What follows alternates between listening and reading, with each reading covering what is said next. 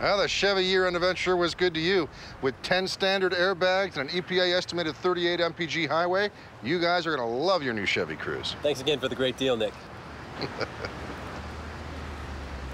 Happy holidays.